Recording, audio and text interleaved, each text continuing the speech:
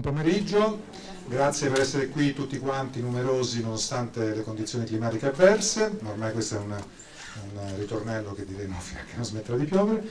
E invito subito Alessandra Lancelotti e Enrico Masi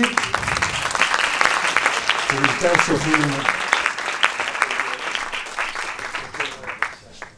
non può piovere per sempre, certo, lo so. Grazie. Con questo messaggio di speranza dovremmo già cominciare la proiezione del film.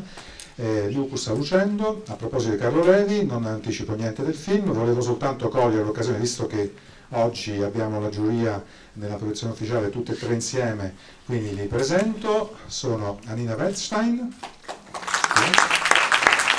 Eleonora Mastro Pietro e Pippo Mezzapesa. Ok, io ho esaurito la mia memoria, nel senso che 5 nomi e un titolo di un film è il massimo che posso fare, per cui lascio la parola a voi per un brevissimo saluto, ricordatevi che tutto quello che, perdete, che spendete adesso lo perdete al Q&A.